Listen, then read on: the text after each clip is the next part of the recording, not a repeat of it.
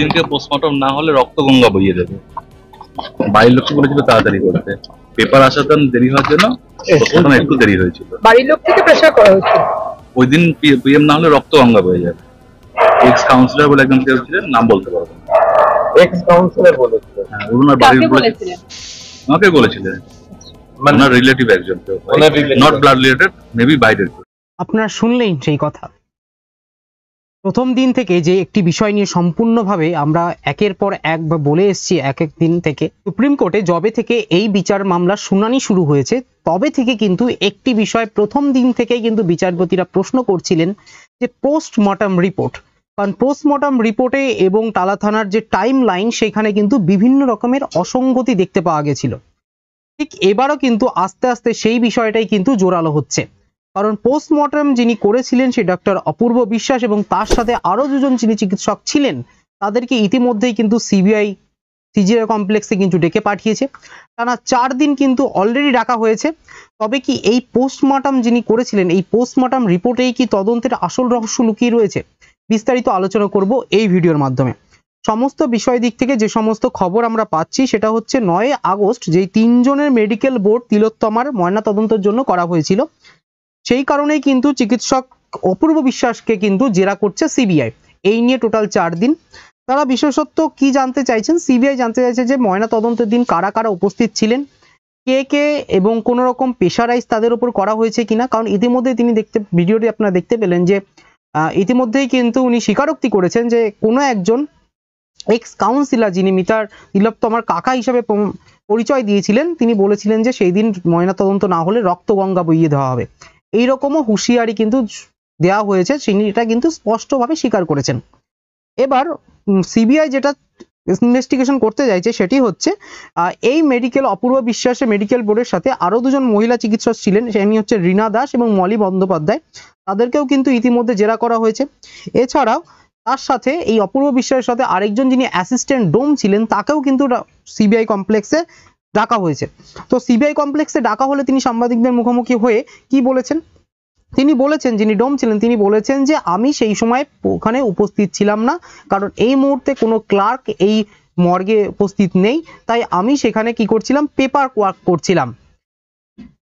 তাই পরে কিন্তু তাকে যথেষ্ট জিজ্ঞাসা করার পর ছেড়ে দেওয়া হচ্ছে। প্রশ্ন উঠছে প্রথম দিক থেকে সুপ্রিম কোর্টে যে পোস্টমর্টম রিপোর্টে যে বিভিন্ন রকমের অসঙ্গতি পাওয়া গেছে এবং তার সমস্ত ডকুমেন্টস বা এবং তার যে লিকুইড পোর্শনগুলো পাওয়া গেছে আপনার জায়গা থেকে এবং পোস্টমর্টমের সাথে কি কি জিনিস দেওয়া হয়েছে? কারণ পোস্টমর্টমের চালান কিন্তু দেওয়া হয়নি বা সুপ্রিম কোর্টে এটা নিয়ে প্রশ্ন করা হয়েছিল। বলা হয়েছে যে চালান দেওয়ার কোনো নিয়ম নীতি নেই। তো এই মুহূর্তে লাশ কাটার ঘরে কি আসল রহস্য উঠবে? তার কারণ হচ্ছে অপূর্ব বিশ্বাস যে কথা বললেন যে তিনি যে কোনো এক কাকা অবস্থায় কাকা, তার কাকা পরিচয়ে কোনো এক লোক তিনি কি করেছিলেন? তিনি তাকে প্রেশারাইজ করেছিলেন যদি আজকের মধ্যে ময়নাতদন্ত না হয়, তাহলে কিন্তু রক্তগঙ্গা বয়ে হবে এইরকমই কথা কিন্তু তিনি বলেছিলেন। এরপরে কি বলেন? সিবিআই তদন্তভার গ্রহণ করার পর থেকে প্রথম প্রক্রিয়ায় কত কতগুলি ত্রুটি লক্ষ্য করা গেছিল। শীর্ষ আদালতেও কিন্তু সিবিআই উল্লেখ করে যে সন্ধ্যাবেলা কেন পোস্টমর্টম করা প্রক্রিয়া হলো চিঠিপত্রে ত্রুটি আছে বলে মন্তব্য করা হয়। কিন্তু টালা থানার তরফ থেকে বলা হয়েছিল যে একটা এমার্জেন্সি ক্ষেত্রে যদি এমার্জেন্সি কোনো ঘটনা ঘটে, সেই ক্ষেত্রে কোনো রকম মানে এমার্জেন্সি অবস্থায় কিন্তু সেক্ষেত্রে ময়নাতদন্ত করা হয়। এই কারণেই কিন্তু এবং এটা যিনি ঘটিয়েছিলেন, তার যিনি সেই সময় টালা ওসি ছিলেন, অভিজিৎ বিশ্বাস অলরেডি গ্রেপ্তার করা হয়েছে। এবং সব সূত্রে যে খবর পাওয়া যাচ্ছে সিবিআই যে স্টেটাস রিপোর্ট দিয়েছিল, সেই স্টেটাস রিপোর্টে কিন্তু একটি ষড়যন্ত্রের কথা উল্লেখ করা হয়েছে। অর্থাৎ কি ষড়যন্ত্র? অর্থাৎ প্রথম দিন থেকেই পোস্টমর্টম রিপোর্ট থেকে শুরু করে বিভিন্ন তথ্যে কিন্তু গরমিল পোস্টমর্টমে জিডি থেকে শুরু করে এফআইআর পর্যন্ত সমস্ত বিষয় কিন্তু গরমিল দেখতে পাওয়া গেছে। এই নিয়ে টোটাল চার দিন কিন্তু অপূর্ব বিশ্বাসকে কিন্তু সিজিও কমপ্লেক্সে ডাকা হলো। বিগত বিশেষত সিবিআই এই বিষয়টি খোলসা করতে চাইছে যে উপর থেকে কোনো রকম কোনো প্রেশারাইজ করা হয়েছে কিনা তাকে, কিন্তু তিনি স্পষ্ট স্বীকার করেছেন যে হ্যাঁ তাকে স্পষ্ট প্রেশারাইজ করা হচ্ছিল। কিন্তু তিনি যিনি মিতা হয়েছেন বা অভয়ের, তার কিন্তু বাড়ির লোক নয়, তিনি বাইরের একজন। এছাড়া বিভিন্ন রকম যেভাবে তথ্য প্রমাণের লোপাটের সাথে সাথে পোস্টমর্টমেও কিন্তু গাফিলতির বিশেষগুলো সিবিআই কিন্তু খুঁটিয়ে দেখছে। কারণ এখানে কিন্তু কুলু পাওয়া যাচ্ছে। কারণ একটার সাথে একটা বিষয় ভীষণভাবে গুরুত্বপূর্ণ। পোস্টমর্টমের রিপোর্টের উপর ভিত্তি করে সিবিআই যে স্ট্যাটাস রিপোর্ট দিচ্ছে, সেই স্ট্যাটাস রিপোর্টে এবং পোস্টমর্টমের রিপোর্টের মধ্যে কিন্তু কারণ সিবিআই তথ্য আধিকারিকরা যেটা মনে করছেন যে পোস্টমর্টমেও কিন্তু বিভিন্ন রকমের অসঙ্গতি দেখতে পাওয়া গেছে। তাই পোস্টমর্টম রিপোর্টটা কি সঠিকভাবে হয়েছে কিনা সেই বিষয়টাও দেখা হচ্ছে। এই কারণেই বলা হচ্ছে যে লাশ কাটার ঘরেই কি তাহলে আসল তদন্তের উদ্দেশ্য করা হবে? কারণ পোস্টমর্টম রিপোর্ট যা যা এসছে সেই হিসাবে আর পুলিশের তরফ থেকে এফআইআর যা বলা হয়েছে তার মধ্যে কিন্তু অসঙ্গতি রয়েছে।